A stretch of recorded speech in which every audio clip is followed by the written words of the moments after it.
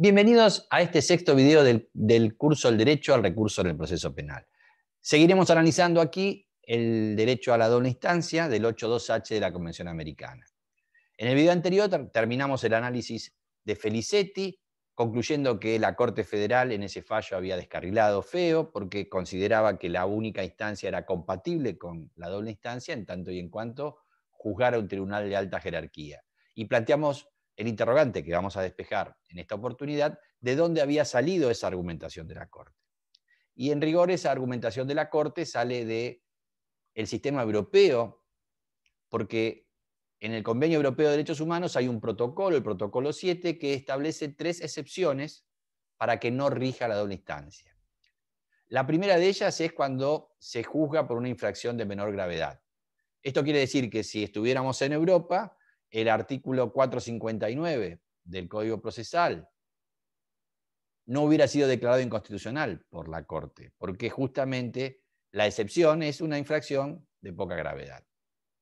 Eso es lo que entonces no hubiera pasado en Giroldi. La segunda excepción que prevé el sistema europeo es justamente el caso de Felicetti. Es cuando el interesado fue juzgado en primera instancia por un tribunal de alta jerarquía. Y hay una tercera excepción, que es que haya sido declarado culpable y condenado el imputado al resolverse un recurso contra su absolución. Justamente ese ha sido el caso que se juzgó ante la Corte Interamericana en Mohamed. En Mohamed, como vimos, lo había absuelto el juez de correccional por código barrio y había sido condenado por la Cámara de Apelaciones mediante un recurso de apelación y contra ese recurso, contra esa decisión no hubo un recurso que revisara esa condena, esa primera condena. La cuestión es que mientras que en Felicetti la Corte no se atrevió, obviamente, a invocar esta, esta norma porque es ajena a nuestro derecho, sí lo hizo el Estado argentino en la litigación ante Mohamed.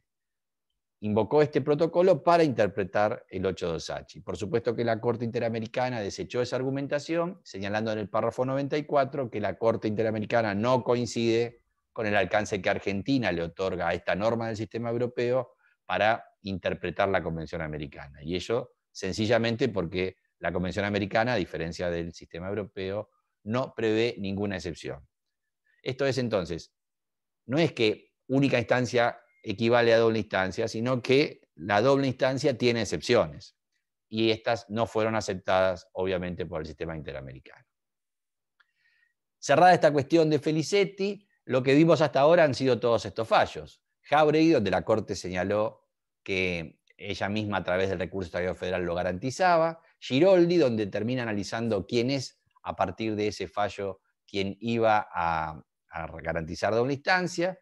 En Arce, donde se dice que el fiscal no tiene doble instancia. Y Felicetti, que es un poco una manifestación de la cerrazón que se había dado a la apertura que dio Giroldi cuando empezó a interpretar que los pronunciamientos de los organismos internacionales eran guía de interpretación de, los, de, las, de las normas contenidas en los instrumentos internacionales. Lo que vamos a ver ahora es el fallo Casal, un fallo icónico que cierra lo que había eh, empezado a generar Giroldi. En Giroldi es la casación quien va a ser la que garantiza la doble instancia, y en Casal, diez años después, lo que dice es qué requisitos tiene que tener ese recurso para poder justamente garantizar doble instancia. Esto es cómo tiene que ser ese procedimiento de revisión. Y Casal no cae eh, espontáneamente en la jurisprudencia de nuestra Corte, sino que está determinada por un fallo de la propia Corte Interamericana. Se trata del caso de Herrera Ulloa, un caso de Costa Rica, que fue fallado el año anterior a Casal, el 2 de julio del 2004. En este caso, la Corte Interamericana interpreta los alcances del 8.2H, lo hace en estos párrafos 157 y siguientes, y para fijar criterio se nutre del criterio que lleva adelante respecto del 14.5 del Pacto Internacional de Derechos Civiles y Políticos, el Comité de Derechos Humanos de Naciones Unidas. De hecho, en el párrafo 166 cita dos comunicaciones eh, donde el Comité de Derechos Humanos de Naciones Unidas interpretó ese 14.5, que son dos casos de España, Gómez Vázquez y Sineiro Fernández. de manera reduccionista uno puede señalar que el estándar que establece la Corte Interamericana, siguiendo la del Comité de Derechos Humanos de Naciones Unidas, es el concepto de revisión integral. Así eso lo dice en el párrafo 165. Y dictada esta sentencia por la Corte Interamericana, la Corte Federal se ve movida a dictar el fallo casal al año siguiente, el 20 de septiembre del 2005. En ese fallo aparece un voto por sus fundamentos que es el de Elena Hayton, que lo que hace es reconocer que existe Herrera Ulloa como precedente del sistema interamericano y sigue a pie juntillas esas eh, directivas para no incurrir en responsabilidad internacional. El voto más interesante es el voto conjunto de Petraki, Maqueda, Zaffaroni y Lorenzetti, que tocan distintos tópicos. En primer lugar, hablan de esta cuestión que es ajena a la de la doble instancia, pero que es trascendente. La Corte, en, este voto, en el voto conjunto de estos jueces, dice que nuestra Constitución, desde 1853, ha seguido, ha suscrito este sistema acusatorio con implementación progresiva, de modo tal que ha sido respetada la voluntad de los legisladores en ir moviéndose hacia el modelo acusatorio. Después, sí toca cuestiones que son pertinentes respecto de lo que es doble instancia, porque hace un análisis histórico de este recurso de casación y cómo inserta dentro de nuestra dinámica en un Estado que es un Estado constitucional de derecho. Y por último, se encargan de dar el alcance preciso que debe tener este recurso de casación para garantizar el 82H. También van por sus fundamentos los votos de los jueces Fay y Argibay, básicamente precisando este alcance en línea con, con sus colegas. Vamos a detenernos en primer lugar en esta cuestión del análisis histórico. La pertinencia es porque para hacer un recurso que finalmente tiene que meterse con cuestiones de hecho, era necesario ese análisis histórico y lo hace en estos términos. Dice que la casación como instituto nace en Francia y Francia era un estado legal de derecho, donde los legisladores controlaban a los jueces pero que nuestra constitución viene como fuente del modelo norteamericano, que es un Estado constitucional de derecho. Y justamente la República Argentina, al suscribir ese modelo, en ese Estado constitucional de derecho, puso a los jueces a controlar a los otros poderes del Estado a través del control de constitucionalidad. Lo dice en los siguientes términos. Dice, los norteamericanos se independizaban de la corona, pero no querían instituir un poder central, un poder federal central, que en definitiva viniese a ejercer un poder arbitrario análogo al de la corona de la cual se independizaban. Por ello, dice, los norteamericanos dieron a todos los jueces la facultad de controlar la constitucionalidad de las leyes y en última instancia a su propia Corte Suprema.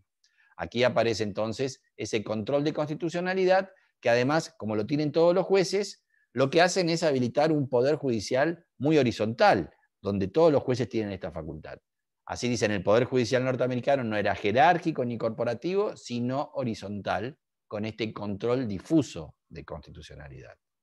Para concluir finalmente que en lugar de encargar a los legisladores el control de los jueces, como en el sistema francés, ese Estado legal de derecho, los norteamericanos pusieron a los jueces a controlar a los legisladores. Y entonces este análisis histórico es muy pertinente porque terminan diciendo que el fin político de la casación francesa, que era unificar la interpretación de la ley, si bien no es desechable, es bastante incompatible con nuestra lógica. Y entonces ese, ese recurso de casación que fue insertado dentro de nuestro modelo, que es un recurso que nos era refractario como instituto, bueno, tiene que ser interpretado dentro de una lógica de ese Estado constitucional de derecho con estas reglas de juego, y entonces es necesario que ese recurso de casación no sea no tenga un exclusivo fin político de unificar la interpretación de la ley, sino tiene que lograr hacer justicia en el caso. Y para hacer justicia en el caso, tiene que, por supuesto, meterse con cuestiones de hecho y prueba.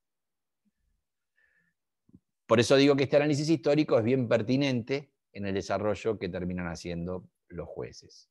Pero nos vamos a detener primero en el voto de la jueza Hayton, que lo que hace es reconocer que hay un precedente en el sistema internacional, que era esta sentencia que mencionamos de la Corte Interamericana Herrera-Ulloa.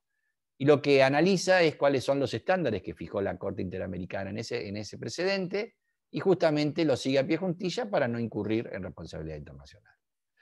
Como decía Herrera Ulloa en el párrafo 161, trata, el recurso tiene que ser un recurso ordinario eficaz.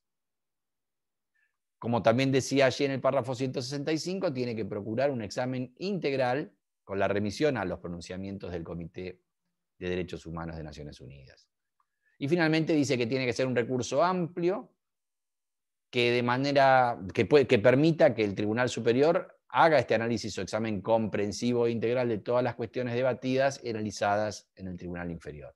Citando otra vez el párrafo de Herrera Usoa, el párrafo 167. Ancla entonces Hayton en este, en este fallo y simplemente sostiene que hay que seguirlo a pie juntillas para no incurrir en responsabilidad internacional. Vamos a ver ahora cómo se desarrolló el voto conjunto de los jueces Petraki, Maqueda, Zafarón y Lorenzetti, que como dije, parten de ese análisis histórico y cómo inserta ese recurso de casación en nuestro modelo. Sentado ello dice que, dicen que es claro que un recurso que solo habilitase la revisión de las cuestiones de derecho, con este objetivo político único o preponderante de unificar la interpretación de la ley, violaría la Constitución, de dónde venimos. Siguen diciendo que, en definitiva, lo que se puede hacer es una interpretación amplia de la letra del 456, inciso segundo, que ciñe el recurso de casación a un recurso de derecho, y para hacer esa interpretación amplia, dicen, no es necesario declarar su inconstitucionalidad, agregando que esa interpretación limitada original del modelo francés ya no sigue vigente ni siquiera en los países con la tradición lógica de la casación. En esos países, tanto la legislación, doctrina y jurisprudencia muestra que se dio esta apertura del recurso de casación a un punto tal que ahora abarcan materias que originariamente le eran por completo extrañas, que incluso permiten rechazar esta distinción que se hace entre cuestiones de hecho y cuestiones de derecho, tan controvertida como difícil de sostener. Eh, esto lo dicen en el considerando 21 y continúan en el análisis señalando que entonces este recurso de casación dejó de ser un recurso de derecho. Así lo sentencian en el considerando 26 cuando dice que se abandona definitivamente la limitación del recurso de casación a las llamadas cuestiones de derecho. Se ordinariza entonces el recurso de casación, ya no deja de ser un recurso extraordinario que solo abarcaba cuestiones de derecho y tiene que también inmiscuirse en cuestiones de hecho y prueba. Al efecto citan un informe de la Comisión Interamericana, un informe también de Costa Rica, el informe 2492, eso lo hacen en el considerando 32. En ese informe, la comisión había analizado si el recurso de casación era suficiente para satisfacer doble instancia. Y había concluido que ese recurso de casación es una institución jurídica que permite la revisión legal por un tribunal superior del fallo y de todos los autos procesales importantes, diciendo que incluso permite controlar la legalidad de la producción de prueba y por eso, en principio, es un instrumento efectivo para poner en práctica el derecho a la doble instancia del 82H. Claro que no cualquier recurso de casación satisface este 82H, sino que de corrido señalan que ese recurso de casación sí lo podrá satisfacer en tanto y en cuanto no se lo regule, no se lo interprete o no se lo aplique con rigor formalista, sino que permita con relativa sencillez examinar la validez de la sentencia recurrida. Optaron los jueces de la Corte por citar este informe de comisión. No citan al informe Maqueda, que es de dos años posterior, de la comisión del año 94. Como vimos, es el informe que movió a la Corte a modificar de Jauregui, pasar a, Giroldi. Y por ahí era mejor haberlo citado, ya que no lo citaron en, en, en Giroldi, por ahí era la oportunidad de citarlo aquí. Y la cita hubiera sido pertinente porque respecto del recurso extraordinario federal, diciendo que no garantizaba doble instancia, era porque tenía un carácter limitado que impedía examinar la validez de los procedimientos, la valoración de la prueba y las cuestiones de hecho. Lo convertía ya, la Comisión Interamericana exigía ya en el 94 que este recurso que garantizara la doble instancia debía inmiscuirse en cuestiones de hecho y valoración de la prueba. Tras esta cita y, no haber citado Maqueda, que hubiera completado el panorama, la Corte, en el considerando 23, sigue eh, viendo cómo va a elaborar este análisis de, ese recurso de casación que satisfaga doble instancia, inmiscuyéndose en cuestiones de hecho. Y para ello cita esta teoría alemana, en el considerando 23 lo dice en estos términos.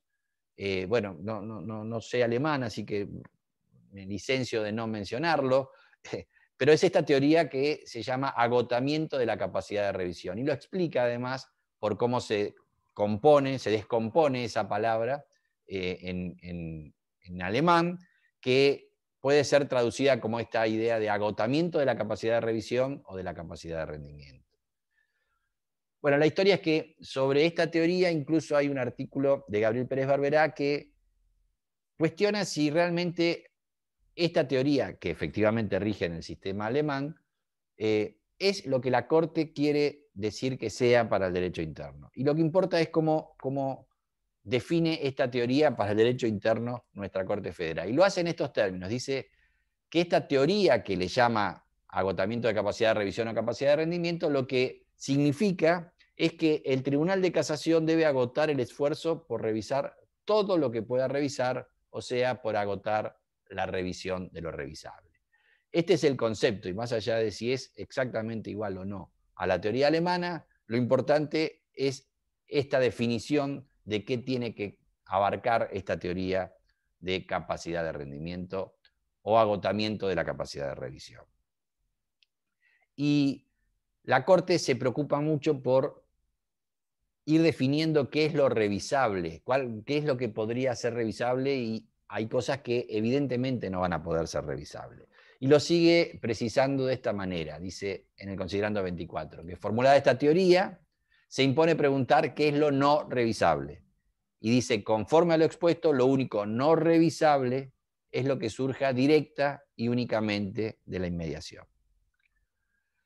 Continúa en este considerando 24 señalando que la doble instancia exige la revisión de todo aquello que no esté exclusivamente reservado a quienes hayan estado presentes como jueces en el juicio. Dicen, esto es lo único que los jueces de casación no pueden valorar. No solo porque cancelaría el principio de publicidad, a mi modo de ver sería el principio de inmediación, lo que debió haber sido citado aquí sino también porque directamente no lo conocen.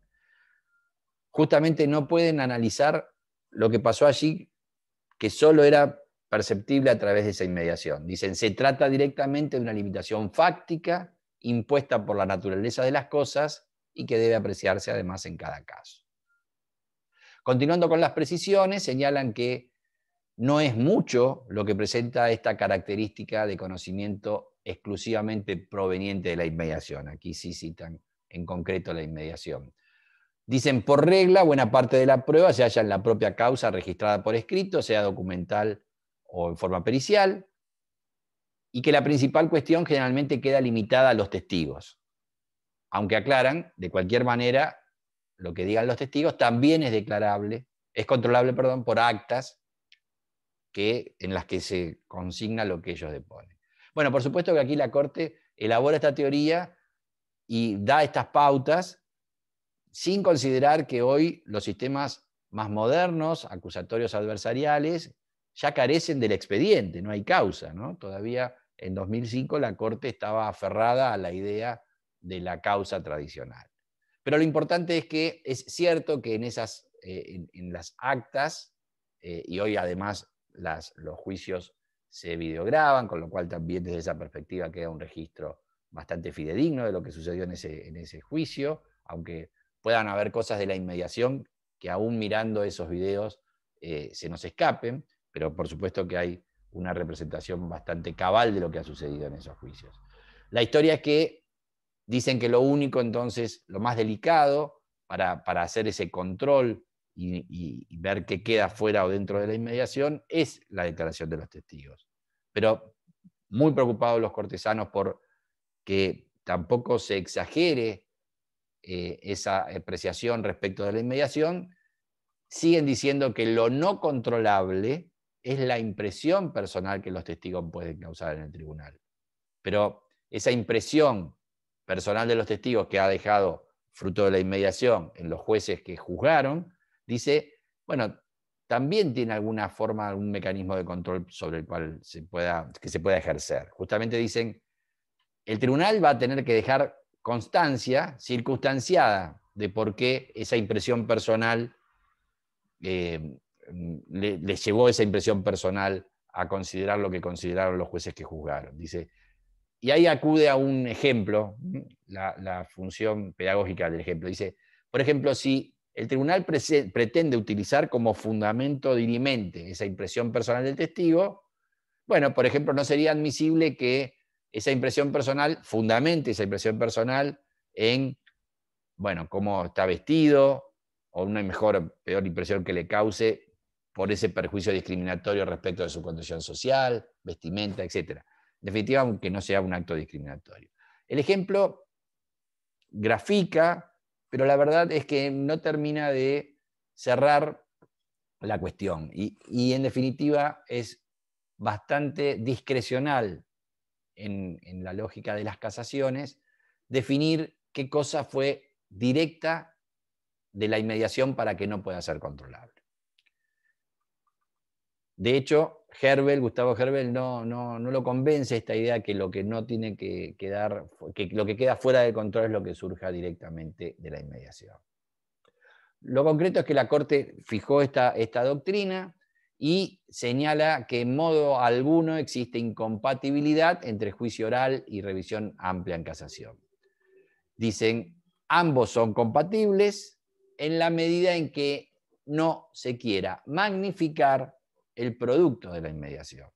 Es decir, en la medida que la casación realice el máximo esfuerzo revisor, o sea, que agote la revisión de todo lo que de hecho sea posible revisar, sin exigírsele a los jueces de casación que revisen lo que no pueden conocer, sino que revisen todo lo que puedan conocer, o sea, que su esfuerzo de revisión agote su capacidad revisora en el caso concreto. Esto lo señalan en el considerando 25, parece un trabalengua, pero van completando esa doctrina de capacidad de rendimiento, diciendo que lo único no revisar es lo que surge de la inmediación sin magnificar. Y respecto de la primera consigna de este considerando 25, de que no hay incompatibilidad entre juicio oral y revisión amplia, en realidad, claro, no la puede haber porque los pactos se encargaron de compatibilizarlas. Como dijimos en el video de introducción, en el sistema puro del, eh, mixto, del, perdón, del inquisitivo, bueno, el recurso era absolutamente, era permeable al recurso porque juzgaba un juez, incluso un juez unipersonal, y después había doble instancia a través de una cámara de apelaciones en base a un expediente donde todo estaba escrito.